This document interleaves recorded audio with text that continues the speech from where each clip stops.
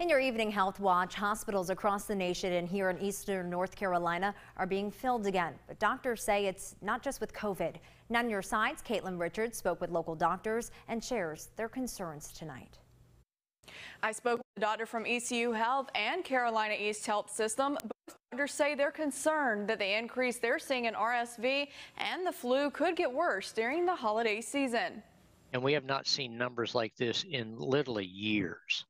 Same thing with influenza started probably about a month and a half ago, and our numbers have actually been higher since since. Uh, again, last week we got numbers like these back in 2008.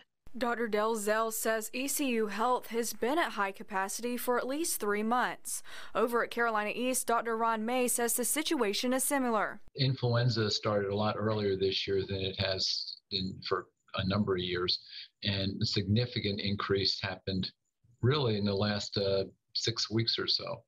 Um, I'm hopeful we're at or past our peak right now, um, but but we can't know that for sure.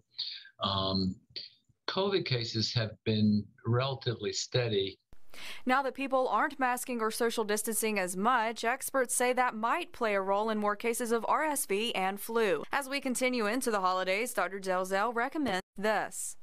Do enjoy yourself get around other people, especially family, but just be careful when you're around family. Like as a way to relieve local hospitals, both doctors suggest going to the emergency room if you're having trouble with breathing or have a high fever.